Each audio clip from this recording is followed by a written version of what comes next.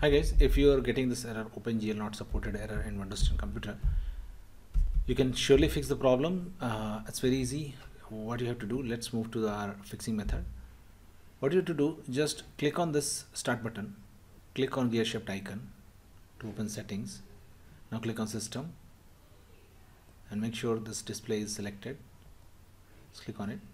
Now scroll down on the right side and here you'll find advanced display settings. Just click on it. Okay scroll down and you'll find display adapter property for display 1 click on it.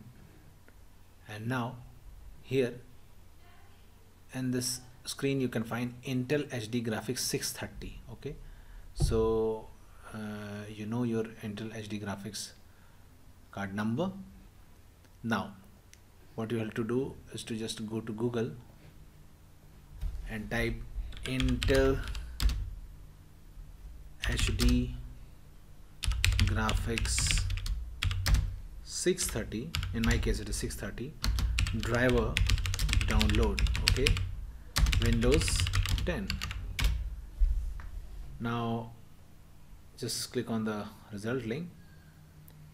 Now here uh, you'll find this uh, graphics Windows DCH driver just make sure that uh, the OS section conforms to your OS and the bit also.